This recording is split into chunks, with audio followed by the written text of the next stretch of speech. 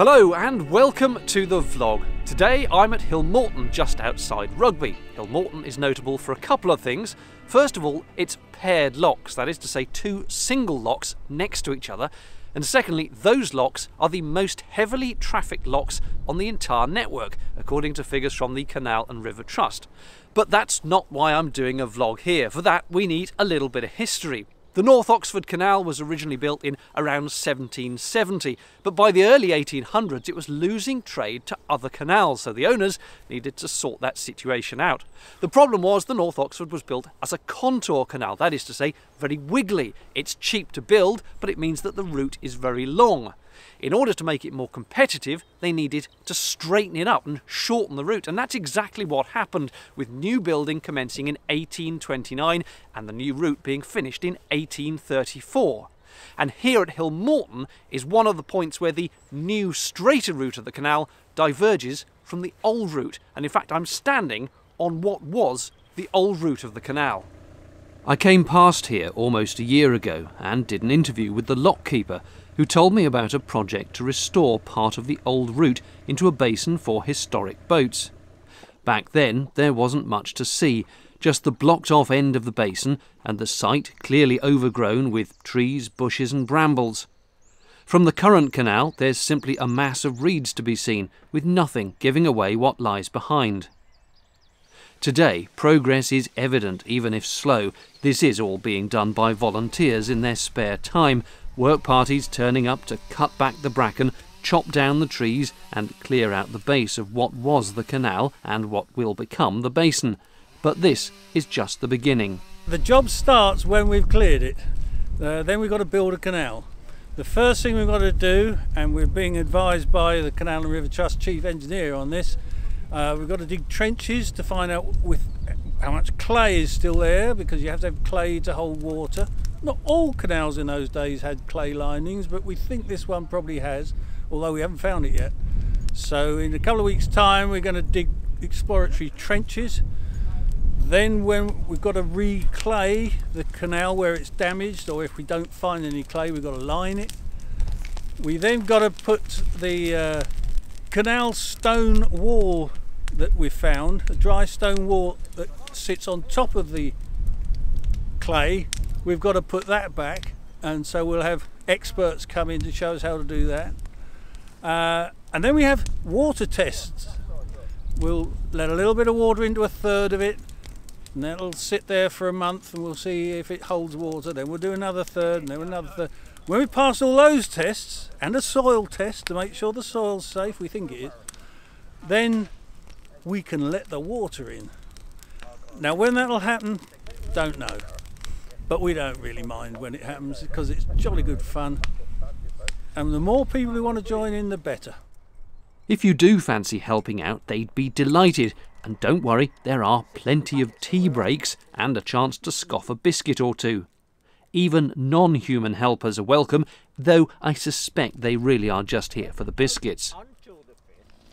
This passing boater was delighted to get stuck in with some heavy lifting and barrowing. Yes, it's a shame to see trees being cut down, but they've grown up right in the middle of the old waterway and need to be cleared.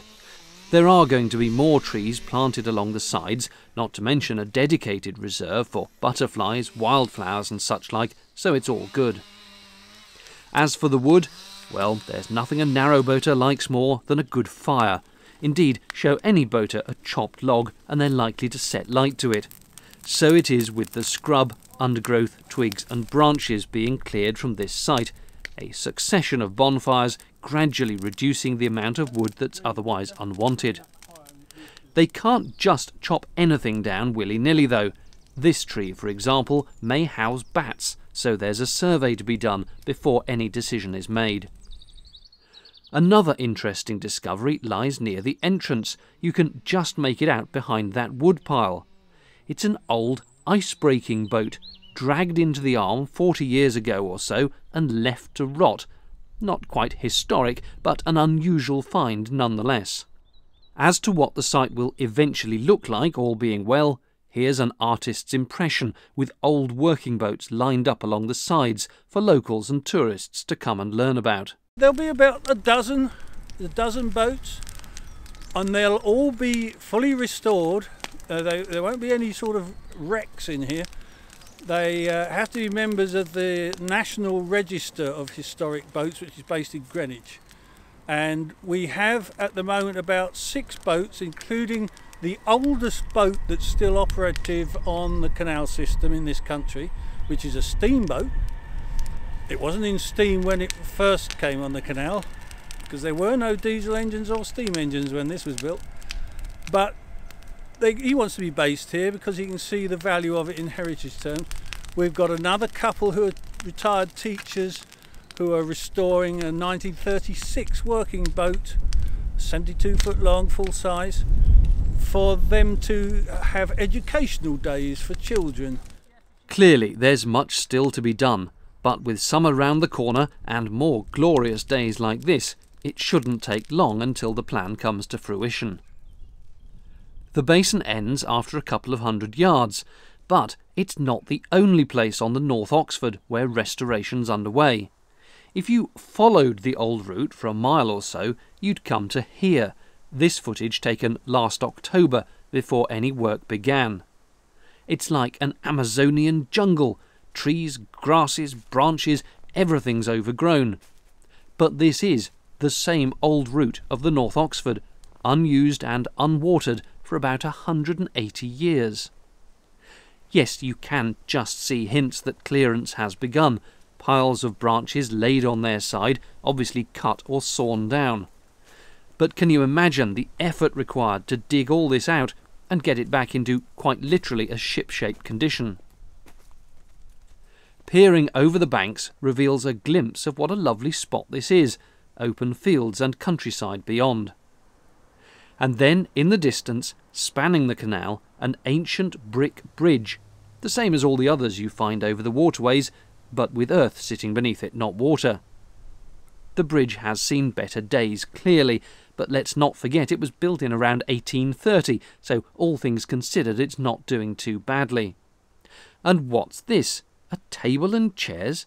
Yes, you see, here's where the old route connects back to the new one, and for the last few yards it's watered and full of boats. The current canal you can't quite see, but it runs from left to right about a third of the way down the picture.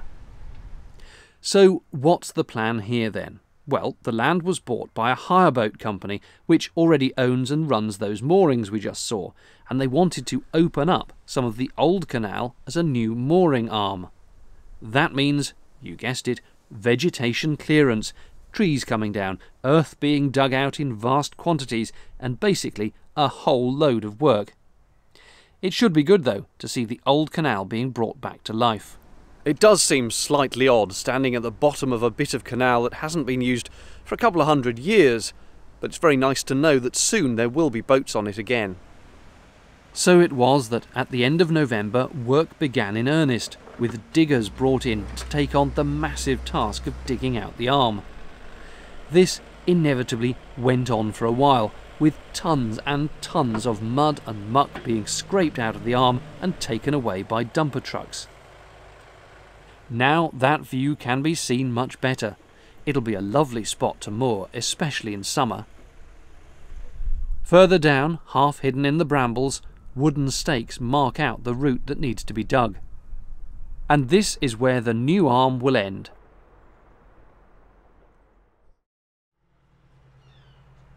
Just a couple of weeks later, and the heavy machinery is already down to that end.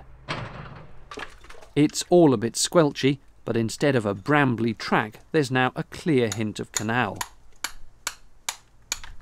The base, several metres in width, is flat and largely clay, which is good because that's what keeps the water in. A little more refinement is on the cards, but essentially that's a canal. At the bridge, some repairs required by the Canal and River Trust, parts of the brickwork being chopped out and replaced. Good for another 200 years, maybe. You'd think the whole thing would need taking down and rebuilding, but apparently just these bits are sufficient, and very nice it looks too. And yes, that is water you can see below. With the canal trench dug, a small hole was punched into the retaining wall under the bridge, and very gradually water from the canal pound, which runs all the way from Hillmorton to Hawkesbury, began to trickle into the few hundred yards of the new arm. Gradually, bit by tiny bit, the water made its way down the arm to the new end stop.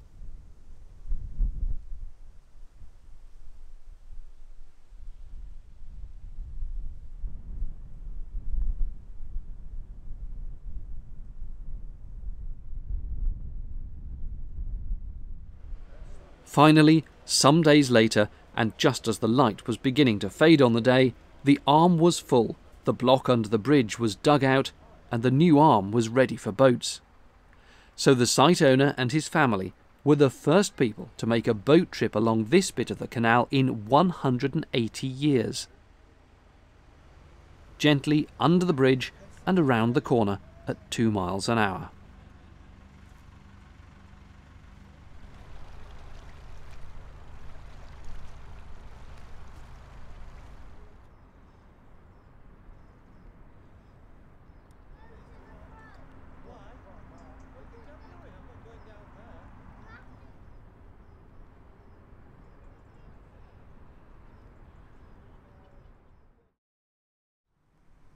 Today, there's still plenty of work to be done. The sides need proper metal piling driven in so as to shore up the slope. But there is mains power and water to stanchions along the arm, so moorers are in and wired up. An eclectic mix of boats and people and their dogs have arrived from all over the canal system. And so, the North Oxford has a little bit of new life breathed back into it. That's it for this vlog. Thanks for watching. Bye bye.